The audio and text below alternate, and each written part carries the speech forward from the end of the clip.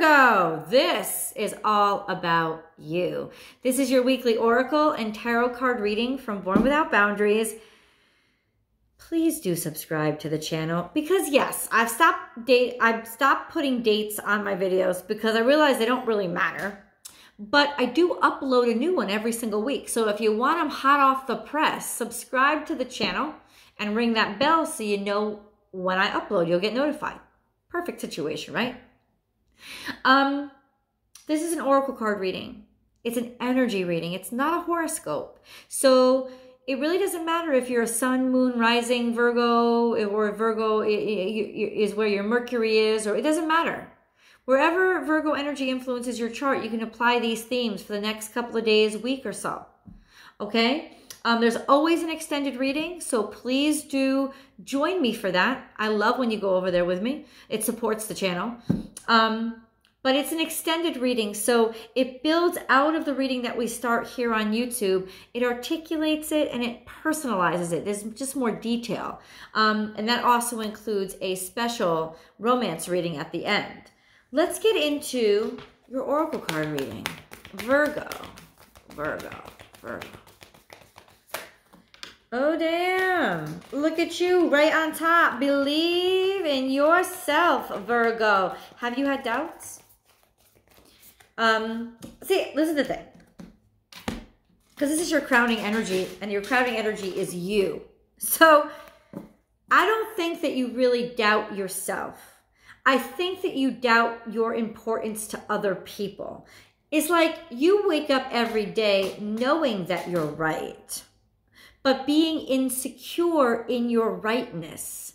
Like not really uh, wanting to own the fact that you have as much power as you have or that you are as capable as you are.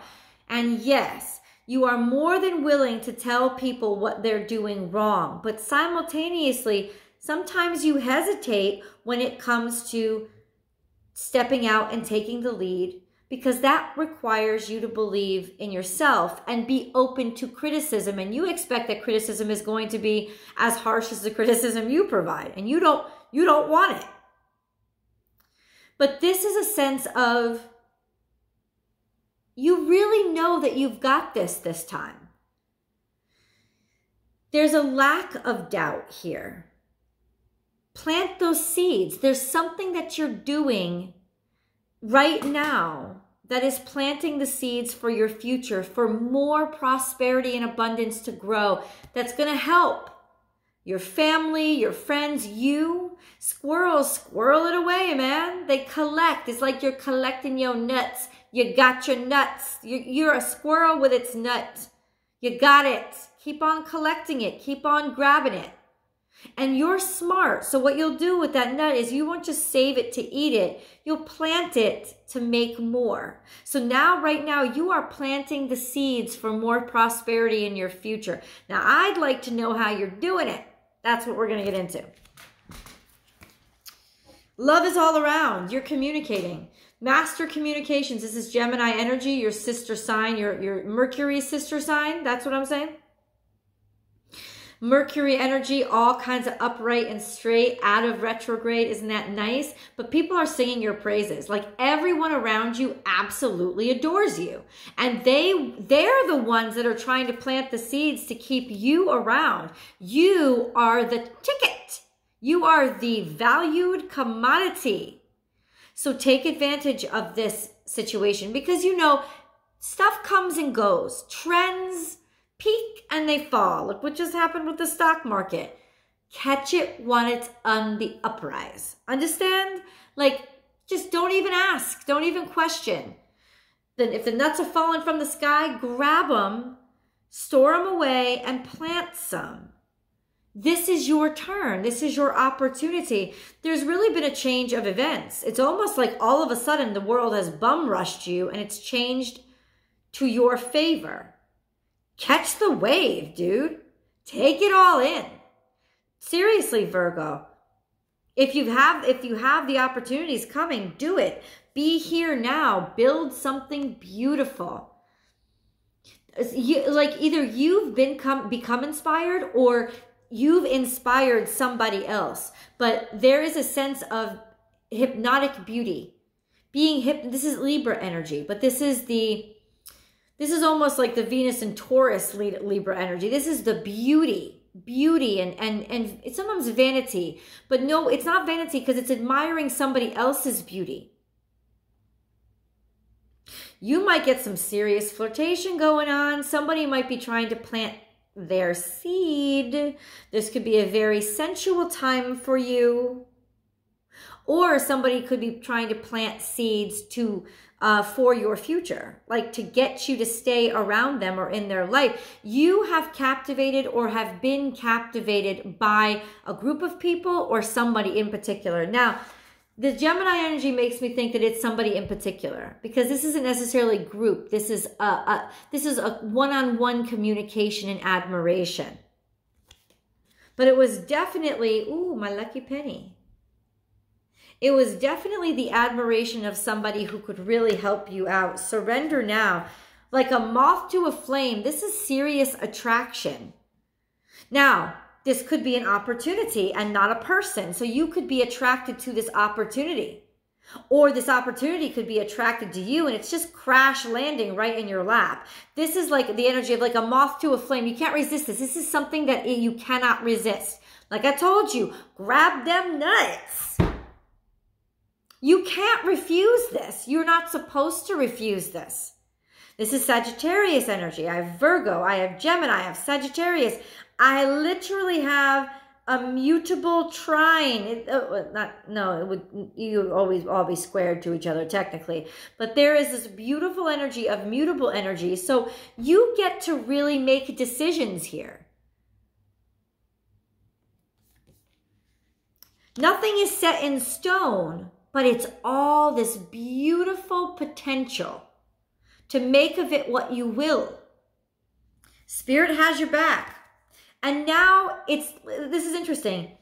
I have a mutable, a cardinal, a mutable, and now another cardinal because this is Libra energy and this is Capricorn energy. So I have mutable, cardinal, mutable, cardinal. This is interesting. What did I say? Peaks and valleys, right? Take it while it's there. This spirit, this is spirit a change. A change is happening in your life. The shift has happened, but it's divinely guided. It's divinely placed. This is the energy of 7 plus 5, which equals uh, 12, which is 3. Balance.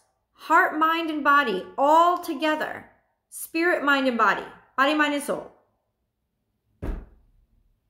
divinely guided. This is Capricornian energy. So this is somebody who's a lawmaker, a rule maker. You could be taking the lead and becoming the leader yourself. Getting to take on the lead because you've been distinguished or uh, distinguished as leadership potential. Taking those honors courses, being inducted into this uh, society or getting the raise. Or somebody willing to commit to you, somebody willing to commit long term to you in a relationship. Something's happening with my phone. That's the second time it's jumped. It's weird. I'm sorry about that. Um, either in a committed relationship, like, like this is a commitment. Absolutely. This is long term because this is Capricorn energy. This is long term. Something that's going to last long term. It's sustainable. Mm. And that's your central energy. Lasting long term, building something that will last. And your crowning energy is planting those seeds for the future. Oh, you have got your plans set. You really do. You're not letting go. You're you're building here to stay. And it's okay because they love you too. They really they really think you're pretty amazing can't resist you. Like I said, that could be work too. But, that, but it would mean that your boss is absolutely crazy about you. Not necessarily in a, a, an intimate way, but in the way that, oh, no, they want to keep you around. This is a good time to ask for a raise. Because they want you. They adore you. They want you to stay long term. You're the one. The ball is in your court, Virgo. There is always enough Nine. realizing that you have everything that you need. This is Pisces energy. Abundance, abundance all around, being able to swim in resources, having enough resources to take care of the ones that you love, to take care of yourself, to take care of things in the future. Like you are stocking up and storing up in that second and third refrigerator in the basement or the garage. One's in the basement, one's in the garage you you have you, you listen this this is literally enough. Emotionally you are happy. You are feeling very content. And this is also mutable energy. Mutable cardinal mutable cardinal mutable. Up and down and up and down and up and down. Like a heartbeat. There's life here there's sustainable life. Maybe there's new life. I got that too. Owl. Oh, we finally have some fixed energy. You see clearly now. Something's being brought to your attention. Something that you didn't realize. And now you're wise to it. You see it. You get it. And it could have been um, information that wasn't available to you yet. Like just finding out you're pregnant. Or just finding out um, just fight like just getting the job offer or just finding out how people feel about you. This is aha the truth the truth being realized the truth coming out. And also being able to see in the dark. You've probably already picked up nuances of this because you're very intuitive virgo. But this is definitely you getting it. You getting wise to something. Take a leap of faith. Don't wait for the full answer. Trust your vibe because everything that you think is correct this is the number of three. So mote it be. Something coming into being. Somebody's also going to, this could also be an advisor that you should have faith in. Because they're going to tell you and give you advice that's actually going to be very good. Listen to them. Listen to them because it will help out in this beautiful, bright future that you're going to. It'll help out a lot open to infinite possibilities. You are the star. What did I say? Grounding your energy, you're the star. This is also Aquarius energy. You might have an Aquarius in your life that's helping you out a lot, helping direct you and conduct your efforts so it goes in the right direction because you really, they're an advisor. You really trust their advice. But this is the truth. This is shining. This is like the star card right? Getting your wishes, your wishes and dreams coming true. But more to the point, this is attention, all eyes on you. All eyes on you. All eyes are on you. Revel in it. I know lots of times you don't like the attention. Tend to the small things. But now you have the resources so that you can pick up those little tidbits. Anything that you felt like you left behind or weren't able to get to, Virgo, now you're able to spotlight it and take care of it. Take care of those things that you thought you were missing out on. Take care of those things that you, you had to say no to. It's those details now that you can focus on because you just got a raise or you just got an, an engagement ring. Tend to the small things can also have been a buildup of things that were, har were harming you or hurting you or things that you were trying to ignore and put away that got out of control you're now being able to sort of clean up. Cleaning up those last odds and ends and tidbits to get them really taken care of. But I think it's the way that you tend to the small things that's making you shine.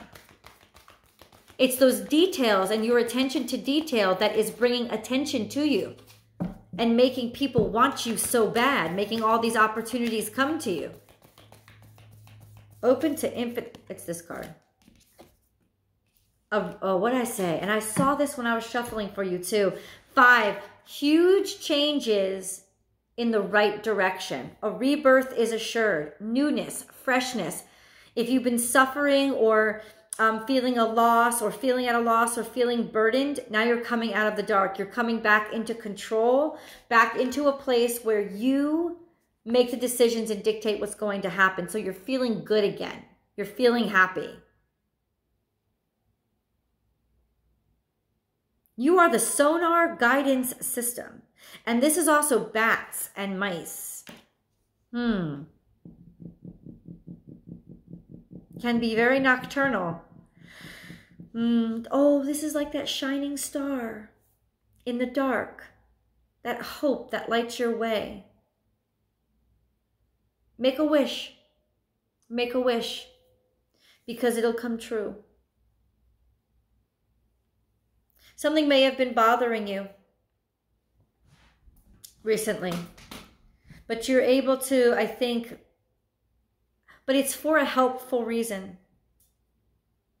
It's almost like you've come full circle throughout this this sort of like life cycle you've come full circle and you're finally able to pick through and let go of those things that were still making you suffer or that you were still holding on to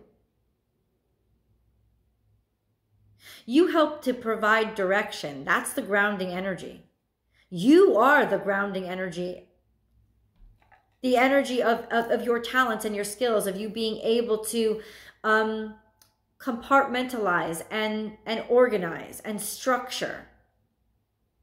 If you apply that to those places in your life that are emotional and somehow sometimes getting out of your control, if you look at it pragmatically and you start to look at why you feel these things, like apply your own skills to your own problems and they will make more sense to you. But this is definitely overall, you know what? Hold on. I'll summarize while we review, the cards.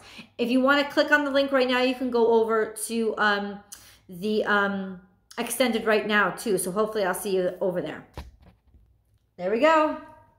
See how you, I mean, the first card out was your energy. Crowning this whole reading was your energy. And your energy is what gives you solidity. It's, it's what, if anything is bothering you, apply your talents and skills to it. Shine your light on it.